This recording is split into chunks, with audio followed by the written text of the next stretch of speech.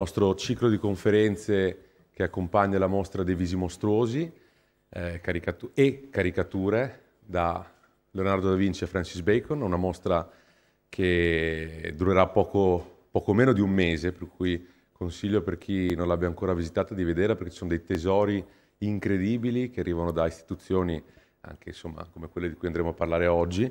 Eh, davvero, davvero molto speciali, che poi torneranno nelle loro sedi, nelle loro case e rimarranno al buio, pensate, per tre anni. Poi la professoressa Alberti ci racconterà anche perché e, e, e come funziona. Questa mostra, ehm, il cui titolo appunto De Visi Mostruosi, nasce eh, innanzitutto il significato. De Visi Mostruosi non parlo perché facilmente si tengono a mente. Questa frase, dice Leonardo da Vinci, verrà riportata poi in quello che è il trattato della pittura dello stesso Leonardo e il codice atlantico e significa proprio il fatto che eh, inizia un genere, ossia eh, studia Leonardo questi, questi moti dell'animo e come dirà poi il Baldinucci vengono caricati in alcuni tratti fisionomici del volto ad esprimere appunto moti dell'animo, vizi e virtù morali. Eh, questa mostra nasce per eh, un nucleo di caricature presenti nella collezione di mio padre Giancarlo, Giancarlo Ligabue, un nucleo di 12 caricature che sono presenti in mostra di Tiepolo. Lui era un grande appassionato appunto di, di, questi, di questi, disegni e, e dell'artista ovviamente e, quindi, e poi ovviamente per questa testa di vecchia che diversi autori attribuiscono a Leonardo da Vinci e quindi eh, abbiamo iniziato a pensare a questa mostra. Questo è il terzo appuntamento del, del ciclo appunto, di conferenze con la professoressa Alberti che ci parlerà appunto di queste caricature di Tiepolo.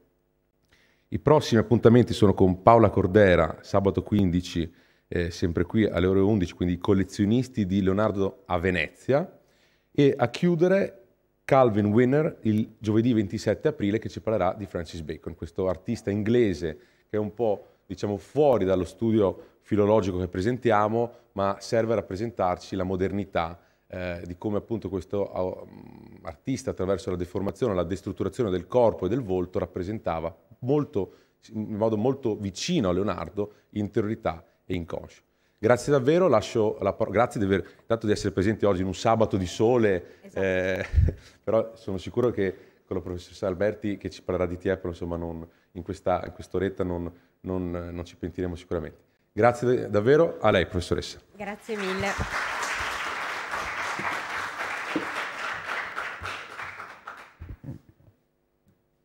Intanto ringrazio il dottor Inti Ligabue per l'accoglienza e ringrazio il professor Marani che non è qui ma mi ha pregato di portarvi i suoi saluti e, ehm, e veramente il pubblico che è numerosissimo considerato che è aprile, che siamo a meno di una settimana da Pasqua ormai. E, ehm, io direi, considerato questo suo cenno iniziale, prima di entrare nel vivo della, del racconto e quindi di mostrarvi la carrellata di immagini che ho preparato, ehm, mi offre l'occasione di fare un cenno a quella che è la, la mia figura e il mio perché di essere qui oggi. Io mh, sono fondamentalmente uno storico dell'incisione, quindi mi sono occupata di incisione per eh, tutta la vita, ma da cinque anni sono anche il conservatore del gabinetto dei disegni al Castello Sforzesco. Per cui eh, la mia fortuna è il fatto di essere qui oggi non che sia un'esperta di Settecento veneziano o di Tiepolo. Sono, ho la fortuna di essere il conservatore di una delle raccolte italiane che conserva il maggior numero di caricature di una qualità altissima di Giambattista Tiepolo. È, ehm, è bellissimo. Il mio lavoro, come diceva il dottor Inti Ligabue, io sono il custode della casa dei disegni. Il gabinetto dei disegni del Castello Sforzesco non ho pensato di mostrarvi un'immagine, è un ambiente piccolissimo, è, è poco più grande di, di, questo, di questo, spazio ecco, che arriva alle prime, due, alle prime due sedie.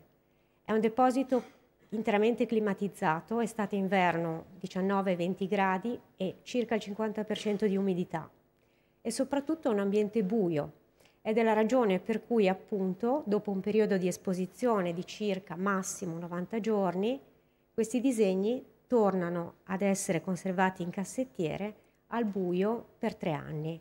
È il periodo che è stato calcolato per preservare dal continuo degrado le opere su carta, perché le opere su carta, a differenza della pittura, appunto sono molto più soggette al, al deterioramento. Quando si tratta poi di opere materiche, ma non è il caso di questi bellissimi fogli di tiepolo, c'è anche il rischio insomma, di uno sgretolamento della materia, per cui davvero eh, dobbiamo immaginare i disegni come i più fragili fra tutte le opere d'arte, quelli più bisognosi di una conservazione particolare. Quindi non vogliatecene, però quando vengono prestati ad una mostra come questa e abbiamo fuori sei caricature di Tiepolo, per rivederle tutte assieme occorrerà appunto aspettare ancora tre anni. Allora, adesso vengo al vivo della, uh, del tema del nostro incontro di oggi. Giambattista Tiepolo è un artista che chiaramente non ha bisogno di presentazioni, specialmente qui a Venezia, dove l'artista è nato nel 1696.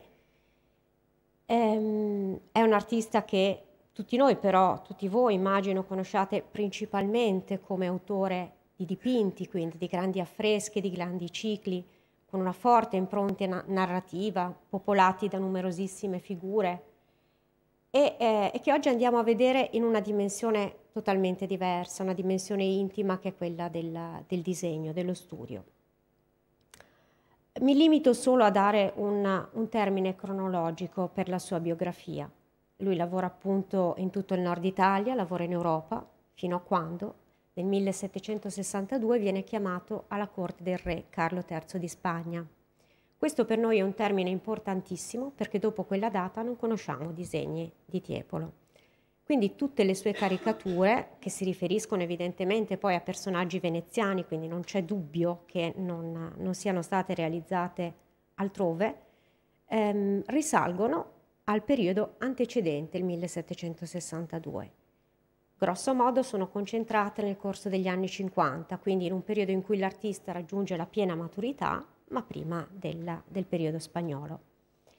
La sua carriera termina appunto a Madrid nel 1770, dove muore senza avere poi l'occasione di, di rientrare. Perdonatemi pochi cenni, non voglio essere, come dire, pedante nel, nel ricordare le date, però rappresentano davvero dei punti fermi sui quali poi eh, possiamo ragionare.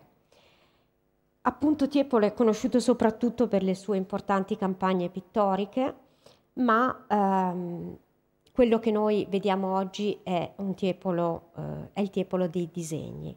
Eh, un disegnatore a penna e all'acquerello, ma dopo vedremo meglio come, su carte sottilissime, vedete carte vergellate, si riconoscono anche qui le vergelle, le vergelle in verticale della carta, delle um, carte a volte talmente sottili per chi di voi avrà già visto la mostra o per chi ha avuto occasione di sfogliare il catalogo, che addirittura ad occhio nudo si riconoscono le filigrane, che sono i marchi della carta impressi in trasparenza nella carta al momento della loro fabbricazione. Quindi dei pezzi veramente straordinari, preziosi e fragilissimi. In un corpus grafico vastissimo, che è stimato intorno ai, ai 2000 pezzi, ai 2000 disegni, i fogli selezionati per questa esposizione sono in tutto gli originali di Giambattista, le caricature, sono in tutto 17 ehm, e afferiscono appunto al tema della, della caricatura eh, che occupa circa eh, poco più del 10% della produzione generale dell'artista. È stimata oggi sui 300 esemplari la produzione di caricature. Ma è incredibile, anche se siamo di fronte a un artista noto e importantissimo, mancano ancora dei dati sicuri, cioè un lavoro di, mh, di spoglio, di cernita di tutta la sua opera grafica stenta, stenta a decollare, proprio per la quantità di opere conservate un po' in tutto il mondo e quindi difficili da censire tra collezioni pubbliche e collezioni private. Le, I personaggi che vediamo in questi disegni sono tutti personaggi isolati, avranno questi disegni un solo, un solo protagonista tendenzialmente. Questo rappresenta veramente un'eccezione perché ha delle annotazioni ambientali, una sedia, un tavolo, un cappello appoggiato sul tavolo, mentre tutti gli altri mostrano generalmente le figure in piedi, di spalle, di profilo o frontali e eh, immagino che i visitatori più attenti tra di voi che saranno stati in mostra avranno notato che c'è un filo conduttore tra tutte queste caricature. Manca sempre l'ambientazione, ma l'unica cosa che vedrete sempre è l'ombra proiettata ai piedi di questi personaggi. Un'ombra che probabilmente non è casuale e poi vi dirò che idea mi sono fatta mentre, mentre preparavo questo nostro incontro di oggi. Ora, eh, quindi tutti personaggi isolati, però la sensazione che vi voglio dare, perché ecco io non sono l'esperto di, di questo tipo di materiale, ma mi piace eh, riportare quelle che sono anche le specificità del nostro lavoro. Ed è bello quando accompagno queste caricature di Tiepolo alle mostre, perché tra i nostri compiti del conservatore è anche quello di accompagnare le opere alle mostre. È come se si riformassero quelle gallerie che Tiepolo aveva pensato. Cioè noi oggi vediamo il singolo foglio, siamo abituati a vederli come opere, come pezzi unici, quindi il personaggio isolato, ma nel momento in cui lui le crea, crea una quantità, crea delle centinaia di pezzi. Quindi nella sua testa sono già delle gallerie, nel suo studio costituiscono già di fatto degli insiemi, dei nuclei importanti. Non dico in dialogo tra loro come i personaggi, come appunto le scene, con la componente narrativa che hanno le sue pitture, però c'è comunque uno stretto legame che tiene insieme tutte queste, tutte queste opere. L'arco cronologico nel quale si colloca questa produzione, come vi dicevo, oscilla tra gli anni 50 con qualche punta, qualche anticipazione negli anni 40, in realtà è perché ci sono delle caricature che non collimano pienamente con lo stile maturo del Giambattista Tiepolo degli anni 50 e allora se ne suppone una datazione precedente, di questo vi mostrerò un esempio a breve tra quelli che appunto conserviamo al gabinetto dei disegni. Tecnicamente sono tutti disegni tracciati a penna um, e successivamente c'è un intervento dell'artista con una tecnica che potremmo definire acquerello. In realtà semplicemente si tratta spesso dello stesso inchiostro utilizzato e steso a penna, diluito in acqua e steso a pennello, anche a ottenere degli effetti, delle stratificazioni per creare questi, questi momenti e questo movimento chiaroscurale. Lo vedete per quanto qui l'inchiostro sia tutto nero, quello a penna, e tutto grigio, quello delle ombreggiature ottiene comunque degli effetti, degli spessori attraverso il ripasso e attraverso la, la quantità di liquido che utilizza per diluire queste, queste composizioni. Gli inchiostri che usa Tiepolo sono quello nero, che potrebbe essere a base di carbonio oppure inchiostro o metallo gallico, ma vedremo anche, bello più riconoscibile per tutti, il bistro che ha questo colore che tende al rosso e al giallo, e che è ottenuto dalla fuliggine, quindi è una ricetta tutto sommato semplice, era un materiale semplice da ottenere. Ma tra gli inchiostri che utilizza eh, Giambattista troviamo anche la seppia, quindi ricavato dal, dall'omonimo mollusco. Queste sono le tecniche, come dire, condivise che erano in uso nel, nel periodo in cui lavora. Come si colloca la produzione della caricatura all'interno del percorso di Giambattista Tiepolo? Sono davvero una, una cosa straordinaria oppure lui a latere di quella che è la sua produzione maggiore, quindi la sua produzione come pittore che riceve committenze da parte di, di privati, par da parte di religiosi, ha sempre praticato qualcos'altro?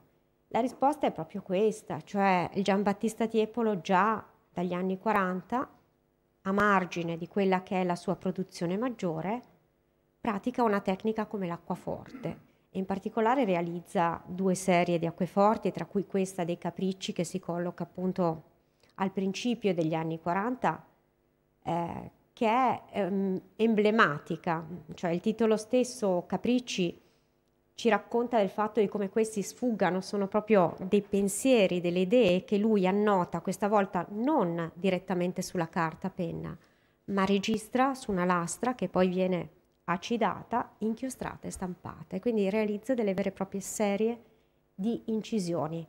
Dal tema però libero. Qui non ha un committente che individua un soggetto, non deve rispondere a precise regole iconografiche.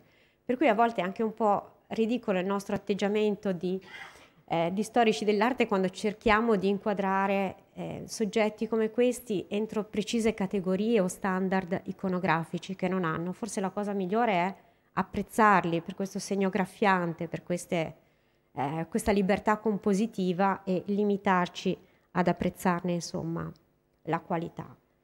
Ma le acqueforti non sono l'unica cosa, l'unico spazio che Tiepolo, eh, come dire, vive eh, in modo, in una dimensione più, più personale e meno, e meno di facciata. Ci sono anche disegni come questo che risale agli anni 30, con le famose figure di Pulcinella, che poi il figlio Giovanni Domenico farà proprie in tutta la sua produzione più tarda, dopo il ritorno da, da Madrid. Anche qui ehm, è stato, eh, dagli storici dell'arte, è stata individuata la figura di, mh, mm, di Pulcinella come un precedente delle caricature. Quale ne fosse la funzione noi non lo sappiamo, nel senso che ehm, non sappiamo se davvero fossero solo un divertimento suo o come ha voluto qualcuno dei soggetti che disegnava per il figlio, il piccolo Gian Domenico, che poi lo avrebbe affiancato a bottega. Ecco, mh, mm, magari chi di voi appunto oggi si è ritagliato del tempo per venire a una conferenza si potrebbe aspettare delle risposte. In realtà il lavoro dello storico dell'arte molto spesso è quello di mettere insieme, di formulare delle ipotesi di portarle al vaglio, di discuterle con, con i colleghi senza mai arrivare a, a, una risposta definitiva. E questo è un pochino il mio approccio al, al lavoro. Ecco. Avendo accennato appunto alla, mh, a come la caricatura corrisponde in un certo senso a questa istanza eh, privata, di una dimensione privata mm, dell'arte in Giambattista Tiepolo, dobbiamo anche fare un cenno, cioè pensare che non, non, approda alla caricatura in modo autonomo. È una moda, è un genere che viene molto praticato a Venezia. Eh, so che appunto tra gli incontri precedenti ce n'è stato uno con uh, il professor Lucchese dedicato ad Anton Maria Zanetti e, ehm, e quindi si colloca in un contesto ben preciso però qui non riesco a trattenermi dal farvi notare che eh, quella, quella, eh, quel disegno nero che si nota in basso, quelle righe orizzontali che vedete, che hanno come terminazione dei, dei piccoli cerchi, sono le filigrane che vi dicevo prima, sono carte talmente sottili, immaginatele, di consistenza di una carta velina. E quindi quando si sollevano in trasparenza normalmente si vede la filigrana ma qui è una carta talmente leggera che la si vede addirittura in fotografia, perché dove è la filigrana lì lo spessore della carta è ancora più, è ancora più sottile. La figura ehm, appunto è un pezzo che si trova in, in, collezione privata e che vedete esposto e che vedete e che mi piace accostare a questo foglio eh, di Anton Maria Zanetti. Eh, L'immagine alla vostra sinistra è quella di Anton Maria Zanetti ehm, che si trova nel foglio 42 dell'album che oggi è conservato alla Fondazione Cini qui a Venezia. Mi pare ovvio, cioè è stata evidenziata da tutti la distanza tra l'intento che muove questi due personaggi. Anton Maria Zanetti ehm, è una artista dilettante, non, non si può certo paragonare agli esiti altissimi che ottiene anche in questa tecnica il, il Giambattista Tiepolo. Però è particolarmente significativo perché è un personaggio che è assolutamente radicato in quello che è il tessuto non solo veneziano Zanetti, ma addirittura internazionale, è in contatto con i maggiori collezionisti di stampe, con i maggiori collezionisti di disegno del tempo e, ed è colui che acquista a Venezia l'intera serie delle, delle, incisioni di Jacques Callot, di cui qui ho mostrato solo il frontespizio, ma che dovete immaginare come una serie di 20 acqueforti che isolano, così come farà poi anche Tiepolo, queste figure di gobbi sulle pagine. È un'intuizione recente di, del professor Marani, quella di aver messo in relazione come diretto precedente per le caricature di Zanetti e poi naturalmente per quelle di Tiepolo, l'acquaforte di, di Callò. Il gobbo in effetti si è da sempre prestato no, a questo tipo di, di rappresentazione, però già da qui mi sembra evidente lo spirito diverso. Zanetti spesso rappresenta personaggi del suo tempo e non solo si limita a renderli ben riconoscibili attraverso le loro caratteristiche fisiche, ma se ciò non bastasse aggiunge anche delle didascalie per identificare il personaggio sul quale si sta, si sta concentrando. Ehm, al contrario, Tiepolo è come se realizzasse, ora rapportato un po' ai nostri tempi, io lo immagino come un database delle tipologie umane, eh, del diverso professionista, del diverso, dei personaggi dei diversi strati sociali, quindi senza un giudizio, senza un accanimento, senza intento satirico, lui davvero rappresenta questo, questo mondo di, di diversità, di, di personaggi, insomma.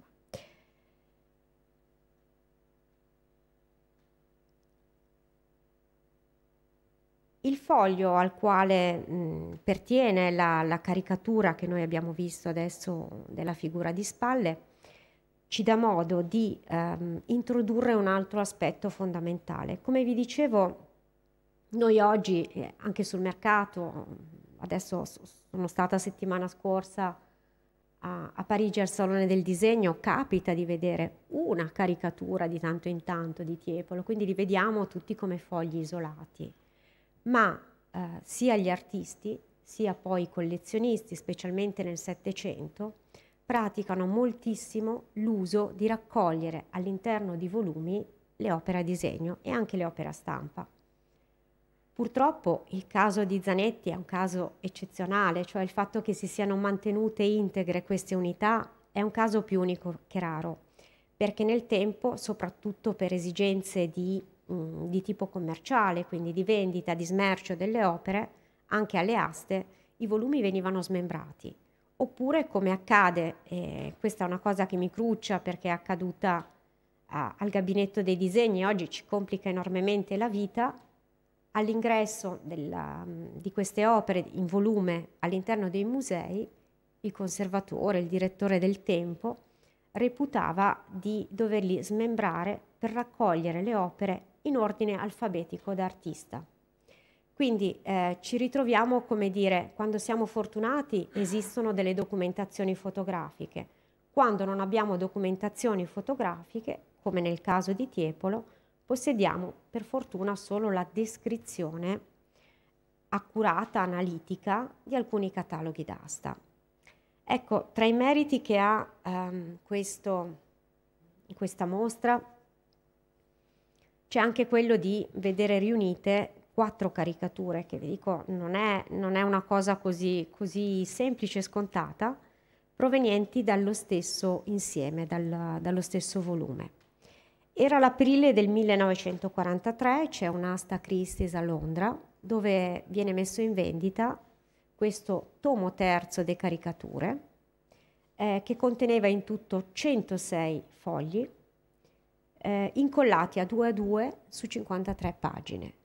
Purtroppo all'asta eh, questi fogli furono ehm, assegnati a nove persone diverse, quindi divisi in nove lotti diversi.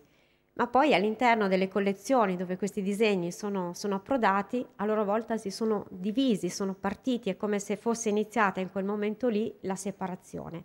Ed è eccezionale che almeno quattro oggi siano tornati a essere a essere tutti insieme.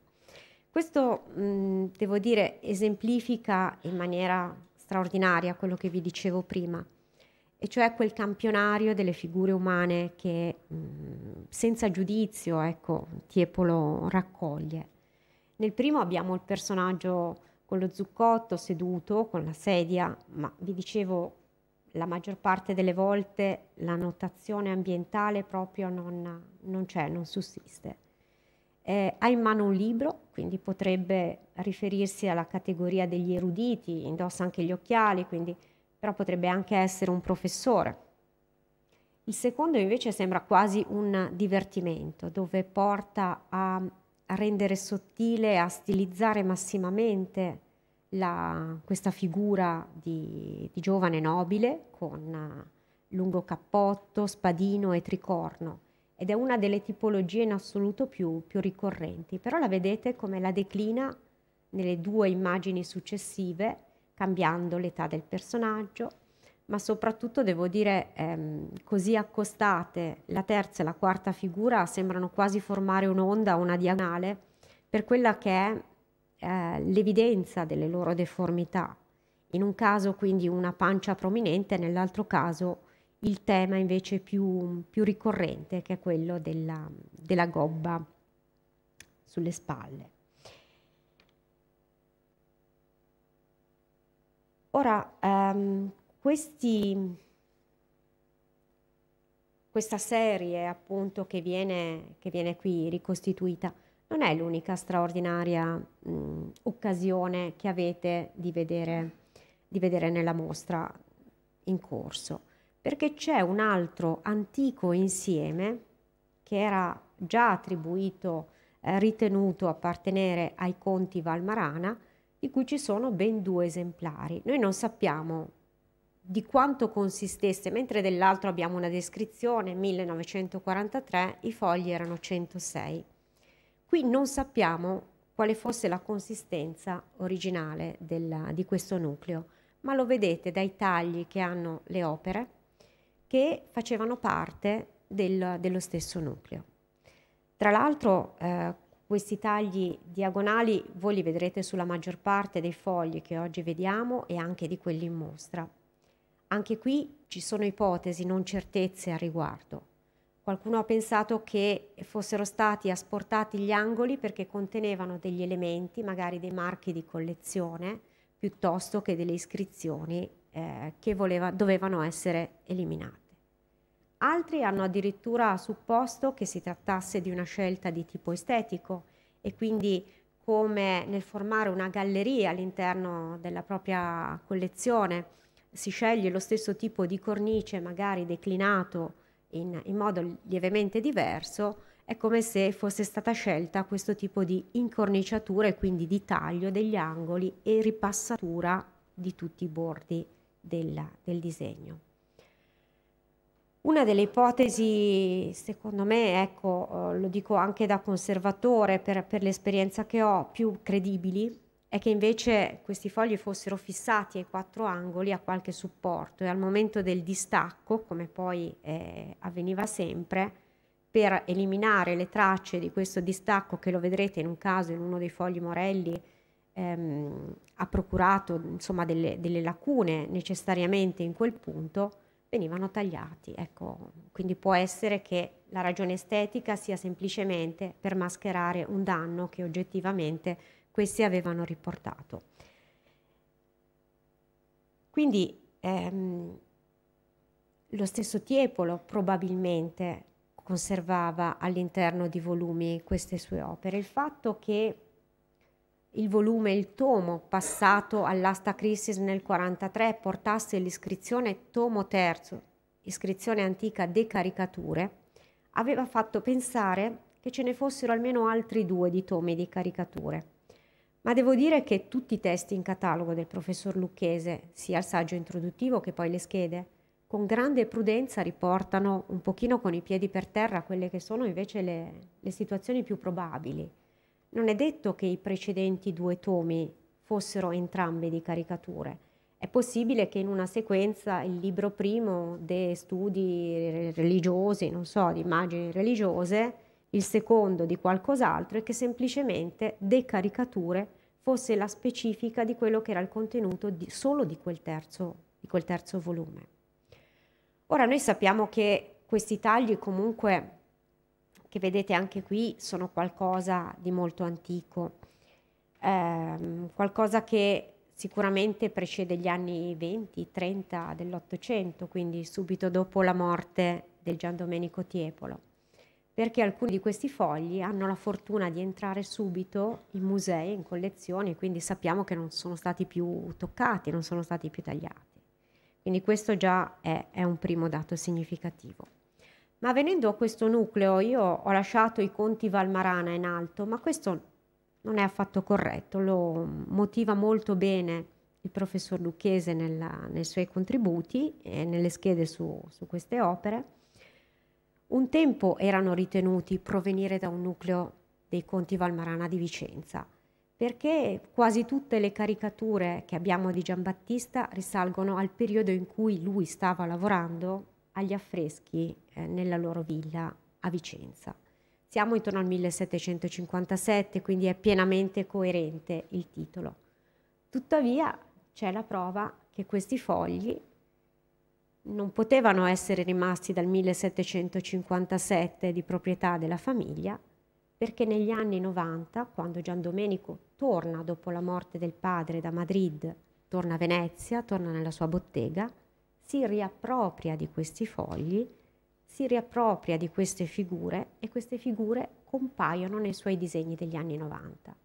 Vuol dire che sono disegni che comunque fino alla morte di Gian Domenico nel 1804 rimasero tutti quanti all'interno della bottega di Giambattista e poi appunto degli eredi.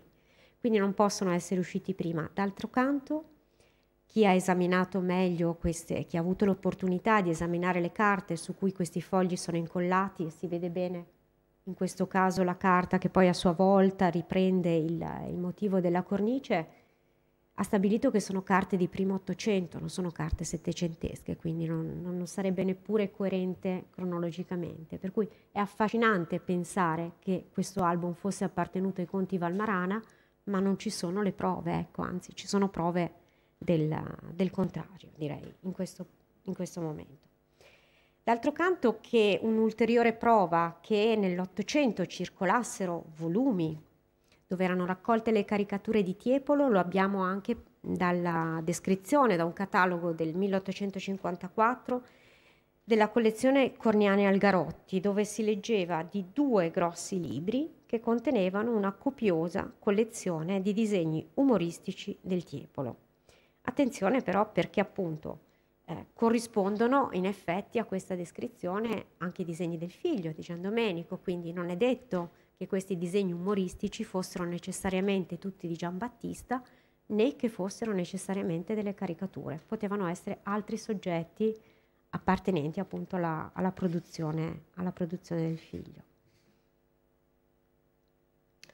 Ed eccoci finalmente alla figura del figlio di Gian Domenico. L'opera non è presente in mostra, però è un'opera assolutamente significativa rispetto a quanto ci siamo detti e rispetto alla permanenza dei disegni del padre nella bottega del figlio.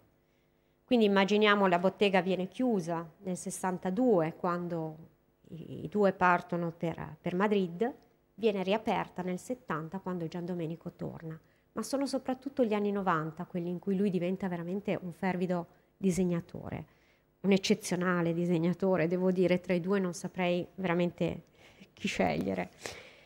Questo è un, è un foglio particolare, un foglio originale. Eh, non si conosce una caricatura di Giambattista con queste fattezze, ma si presume che esistesse perché al momento non è provata un'attività di Gian Domenico come autonomo caricaturista. Più spesso Gian Domenico effettua questo tipo di operazione, cioè recupera le immagini che il padre aveva effigiato in maniera isolata e le inserisce all'interno delle sue composizioni. Però ci tenevo, mm, mi sono fatta un pensiero mentre stavo montando anche queste, mm, queste immagini. Vedete l'unico intervento che, che fa in questo caso Gian Domenico? Cambia la fonte di luce, cambia la posizione dell'ombra. Vi ho detto, se fosse che l'ombra non mi era risultata un elemento importante, non ci avrei prestato attenzione. Ma per il fatto che l'ombra c'è sempre, qui però ve lo anticipo, sto uscendo dal seminato nel senso che non ci sono posizioni, non ci sono testi critici che abbiano preso in considerazione questo aspetto, è, mia, è un mio pensiero, una mia riflessione. E vedete, cioè non è che la recepisce in modo banale, la mette ai margini della composizione, però cambia completamente la fonte di luce, non è più illuminata la schiena, è illuminato davanti, quindi c'è uno studio della luminosità. Mi domando se nel formare questa collezione di caricature, il Giambattista, non avesse in mente proprio di lasciare all'interno della sua bottega come un repertorio di immagini dove non è solo per motivi estetici che ci sono queste acquerellature stratificate, ma c'è uno studio della luce straordinario. E al figlio basta riprendere la stessa figura, cambiare la posizione delle ombre per poterla comporre in un'altra maniera. Non che non stimasse il lavoro del figlio, perché in tutte le cose che si leggono, cioè, ed è tanta la letteratura chiaramente su, sui due, e c'è anche che le avesse realizzate come modelli esattamente per, per il giovane Gian Domenico, lasciando una libertà, perché chiaramente la bellezza dei disegni di Tiepolo la vedete qui, i segni sono pochissimi. La caratteristica è che non ci sono a differenza di qua in Gian Domenico dove vedete che c'è un ripensamento sotto il volto. Ok? È chiaro che ehm, sta copiando, è chiaro che eh, c'è una fase di studio. I disegni di Giambattista appartengono a una categoria a parte. Non so per chi di voi ha familiarità con il disegno. I disegni grosso modo si distinguono in categorie in base a quella che è la loro funzione. No? Quindi c'è il disegno che l'artista giovane fa, per studiare dal vero, per studiare, per imitare la realtà, per imitare altri artisti. C'è il disegno preparatorio che l'artista fa, funzionale a un dipinto, a una scultura, insomma a una composizione maggiore e ufficiale. E poi c'è il disegno finito, cioè quel disegno che l'artista fa, non si sa bene perché, ed è pronto così per essere incorniciato a una sua autonomia, una sua bellezza. Questo non solo un, corrisponde alla tipologia del disegno finito, ma corrisponde anche a, al disegno estemporaneo, cioè non c'è una preparazione sottostante a matita.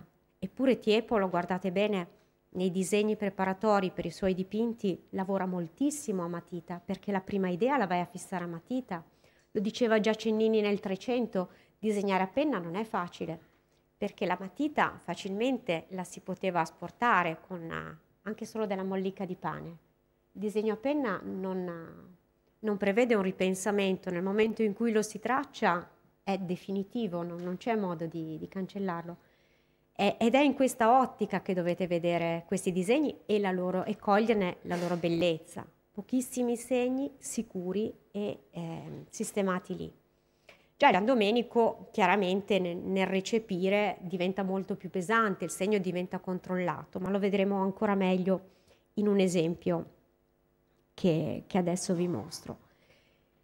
Io ne ho scelti un paio, eh, giusto questo che era particolarmente evidente e quest'altro che non, non, è così evidente, vi aiuto a riconoscere la figura dell'uomo che abbiamo visto prima dal tomo terzo delle caricature all'interno del pubblico di questa composizione di Gian Domenico del 1791, il, il Cantastorie.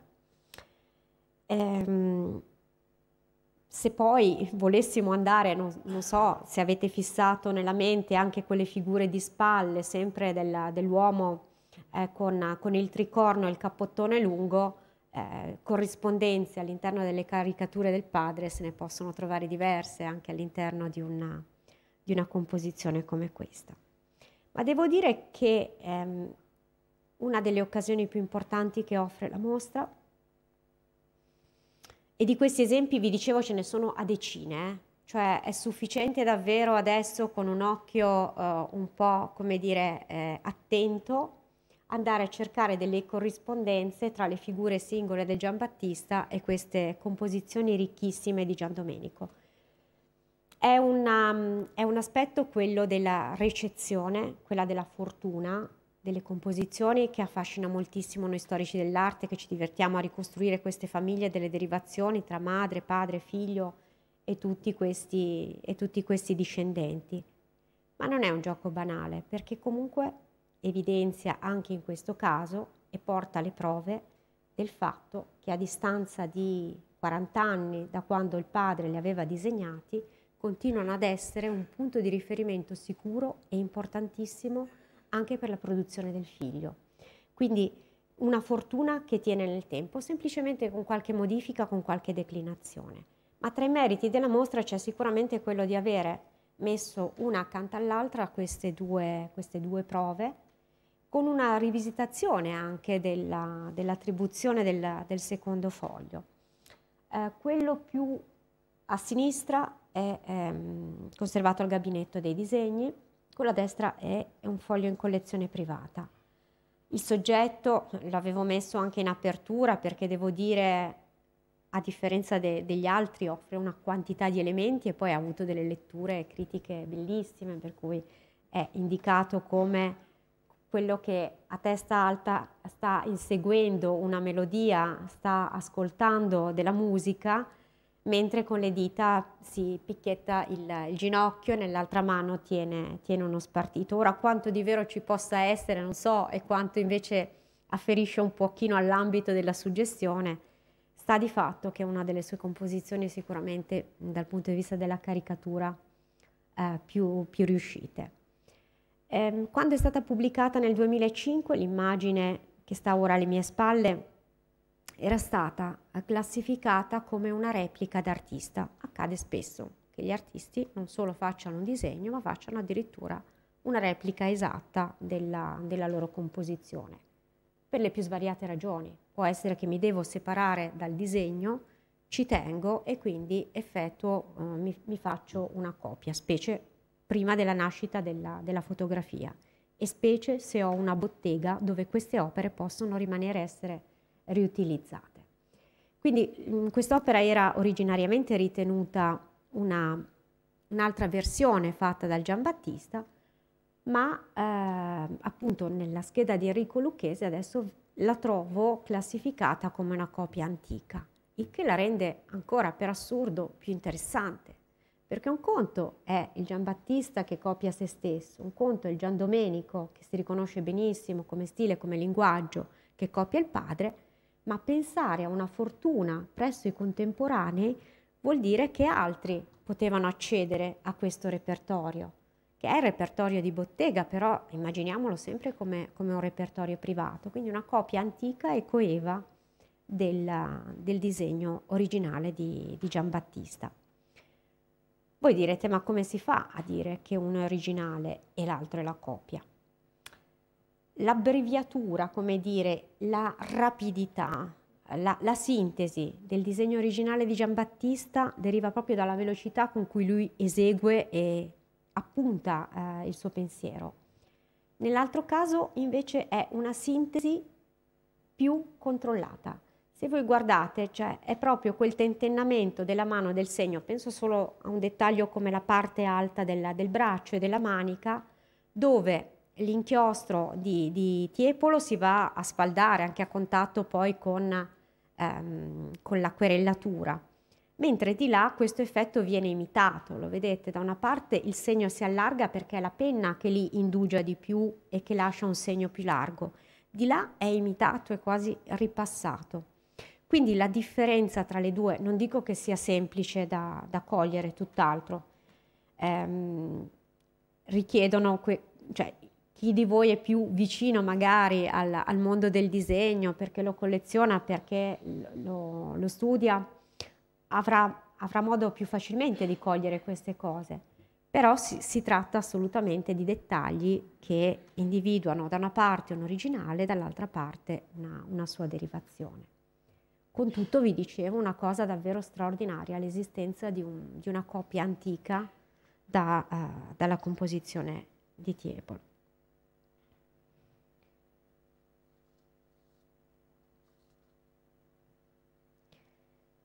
Tra gli aspetti, insomma, della fortuna, della, tra gli aspetti, eh, dire, che noi esaminiamo per valutare la fortuna di un artista, c'è il momento in cui le sue opere entrano nei musei.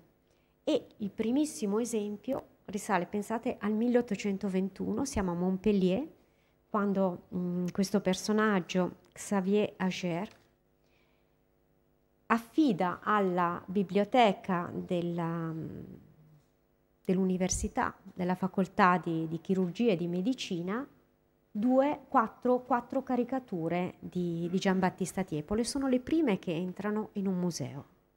Le seconde avete il, la fortuna di averle qui a Venezia perché sono due fogli che Teodoro Correr lascia appunto al, al museo che sono rimasti lì. E questo è un aspetto abbastanza studiato. L'aspetto che invece non ho trovato indagato, per quanto appunto vi dico gli studi siano numerosissimi, riguarda la fortuna espositiva di Tiepolo, che probabilmente comincia tardi, ma che mi piace immaginare corrisponda proprio alla, um, al nucleo che conserviamo noi al gabinetto dei disegni del Castello Sforzesco. A Milano abbiamo otto, in tutto abbiamo otto caricature di Tiepolo, di cui sei sono presenti in mostra. Ho evidenziato con l'alone giallo quelle che non sono, non sono presenti in mostra. Per una scelta, immagino, curatoriale, di spazio, e in un caso, devo dire, la, la condivido anche anche con, con convinzione, ecco, nell'altro caso. Ehm, sono quattro opere divise in due gruppi, ciascuno di quattro pezzi. Questo pezzo lo vedete in basso a, alla vostra destra, ha sempre questo timbro con una lettera M, che eh, lo vedete, l'ho, l'ho ingigantito lì in alto, che è il timbro della collezione Morelli. Perdonate queste mie incursioni, però come qualcuno sa, cioè, mi porto dietro anni di ehm, insegnamento in università proprio di quelli che sono gli elementi e i modi e i metodi di studio e, e dall'altro quello che è l'esperienza del nostro lavoro quotidiano. Ma chiunque di voi si imbatta in un disegno che presenta un timbro o un marchio di un collezionista, farà riferimento a questo strumento straordinario che è il titolo, era il titolo di un, di un, repertorio stampato, di un volume uscito per la prima volta nel 21 e poi integrato nel 1956 e che oggi abbiamo la fortuna di avere disponibile online sul sito della, della omonima Fondazione LUCT, che ci permette attraverso la descrizione, se io voglio sapere a chi corrisponde un marchio che ha le lettere MO, inserisco questo dettaglio e ho il corrispettivo. Chiaramente di MO me ne saltano fuori una ventina, tra questi individuo il mio. Il marchio in questione è quello di Giovanni Morelli, che tutti conoscerete, immagino, non tanto come medico, come senatore del, del Regno d'Italia, quanto piuttosto come collezionista e storico d'arte. Tant'è che a lui è associato, è l'inventore del cosiddetto metodo morelliano, cioè lui comincia a osservare, a raccogliere in una serie di appunti tutte queste mh, osservazioni rispetto al modo identico che un certo artista ha di rendere magari l'occhio, la forma del volto, la forma delle mani, è quello che oggi chiamiamo il metodo morelliano, che deriva proprio dalla, dal suo, dalla sua attenzione. E la cosa più curiosa, devo dire, è che all'interno della sua collezione di disegni, che comprendeva soprattutto disegni di pittori, ma erano disegni preparatori per la pittura, perché a Morelli interessa fondamentalmente riconoscere, ricreare il catalogo di Leonardo, il catalogo di Raffaello, il catalogo dei grandi pittori e quindi vuole cercare nel segno anche disegnato quelle caratteristiche che ritrova in pittura. Ma è, è ancora ben più curioso allora che si sia fornito, che abbia raccolto delle caricature che, come abbiamo detto, sono disegni autonomi, che non hanno un corrispettivo in pittura, che è una tecnica che Tiepolo utilizza solo per queste cose. Quindi è una collezione, da questo punto di vista, devo dire, straordinaria. Ehm, ma torno alla ragione per cui mh, ho parlato della, dell'inizio della fortuna espositiva. Siamo a Milano, siamo nel 1881 è appena aperto uno dei musei che oggi costituisce una delle eccellenze in città, che è il Museo Pol di Pezzoli, e viene organizzata un'esposizione con 400 disegni antichi. Quindi non la più importante fino a quel momento in Italia, ma una delle più importanti fino a quel momento in tutta Europa. Eh, 400 sono tantissimi, sono pezzi che arrivano in grossa parte dalla collezione di Giovanni Morelli, dalla collezione di questo Carlo Pryor che stiamo cercando di ricostruire a fatica perché anche lei è interamente sparsa sul, sul mercato e pochissimo musealizzata, e di Giuseppe Bertini, più 120 disegni del, del Museo dell'Arcivescovado. Era un'esposizione, è un'esposizione dalla portata enorme, di cui non c'è il catalogo, ma abbiamo eh, una serie di articoli che Gustavo Frizzoni, che è l'erede, amico e allievo di, di Giovanni Morelli, eh, commenta in, questi, ehm, in, queste righe attraverso eh, una serie di articoli che sono apparsi sulla rivista L'Art.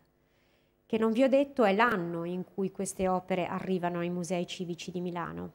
Arrivano nell'anno 1900, quindi è prestissimo. Giovanni Morelli è morto nel 1891 e ha lasciato l'incarico al suo allievo appunto Frizzoni di donare una parte dei suoi disegni alle collezioni civiche.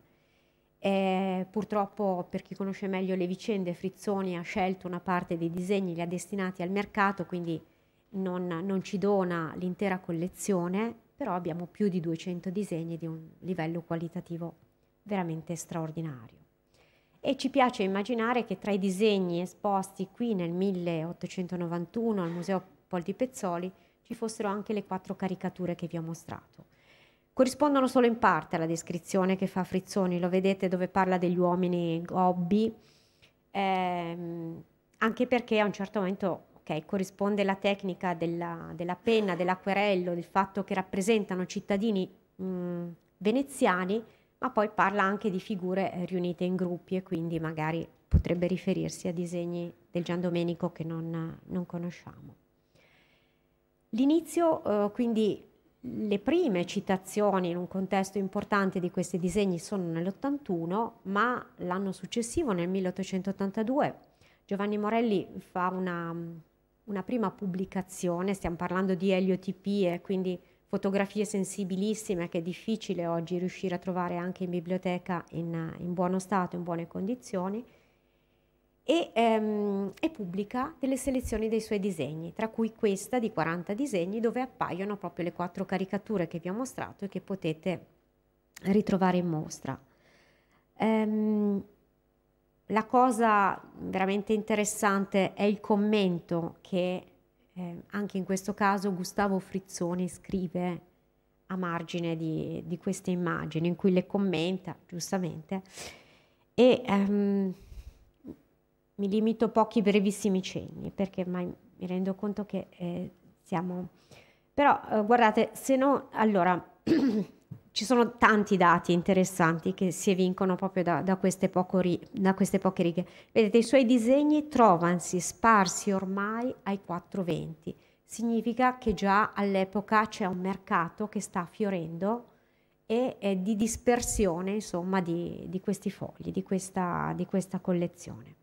Se non che nei quattro schizzacci che noi presentiamo e direi che lo definisce così in maniera assolutamente amorevole perché poi ne parla e insomma calcolate che qui Morelli all'epoca riteneva di avere Pontormo, riteneva di avere Michelangelo, riteneva di avere Raffaello e in questa selezione ci mette dentro ben quattro Tiepolo, cioè questo per darvi la dimensione che su 40 pezzi erano già stimati come degli autentici capolavori. Infatti lo vedete scendendo quanta finezza d'osservazione. In questi tocchi efficaci e sicuri si ravvisa l'unghia del leone, che devo dire descrive perfettamente proprio la rapidità, questo, questo segno graffiante.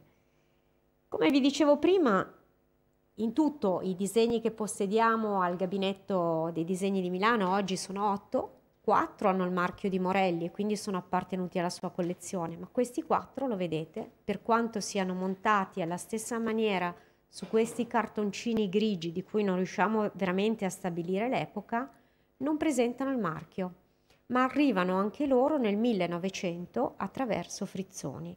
È presumibile che quindi appartenessero alla collezione di Frizzoni e non a quella di Morelli, solo per la mancanza del, del timbro, perché i veri collezionisti sostanzialmente in passato marchiavano tutto il possibile, generalmente davanti e in basso, quindi sono segni sempre ben riconoscibili.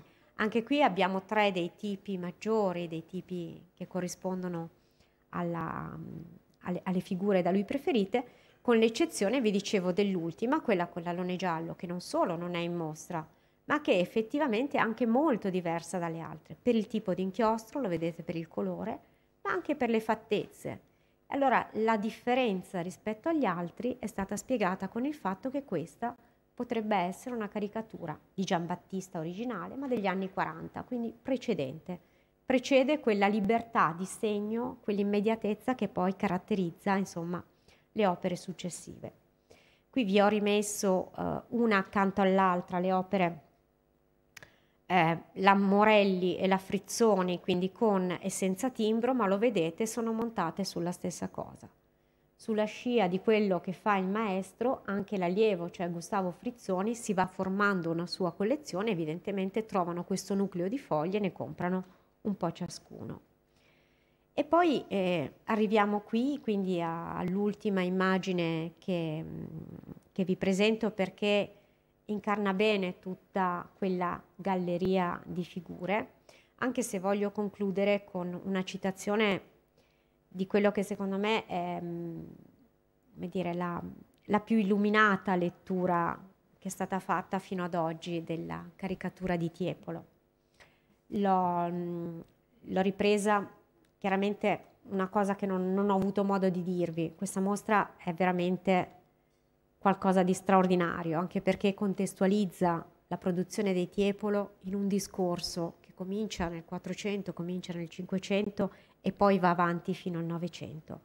Ma qui a Venezia avevate avuto la fortuna nel 2004 di avere questa grande mostra sui Tiepolo che avevano proprio messo in evidenza um, e raccolto anche moltissime delle caricature. Quindi qui ho ritrovato questa citazione ehm, della, di, un, di, un, brano, di un passaggio del 1983 che però vorrei leggere con voi perché io credo che non ci siano parole migliori per eh, concludere eh, con un, una visione d'insieme. L'attività di Tiepolo Maggiore, più che costituire uno sfogo in margine alla produzione aulica, è complementare a quest'ultima, come l'intermezzo farsesco può esserlo al dramma eroico.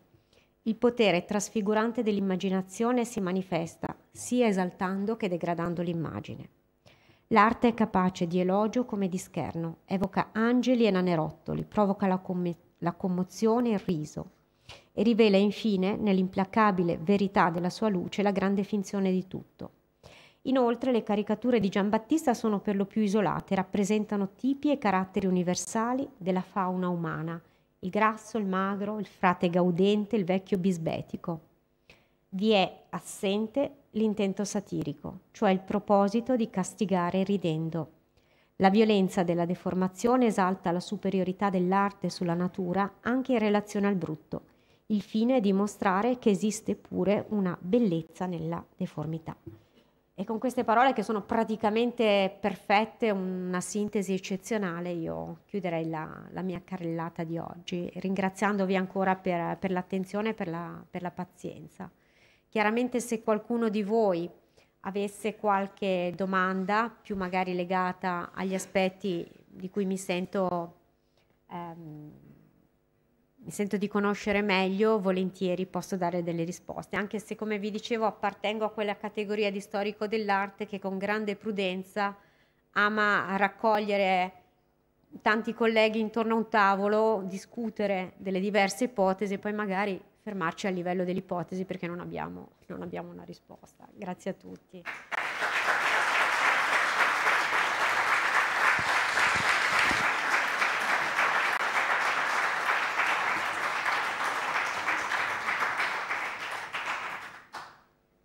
Giustamente vi lascio con la slide del, dei prossimi appuntamenti. Se non ci sono domande? Trovate tutte le risposte nel, nello splendido catalogo della, della mostra.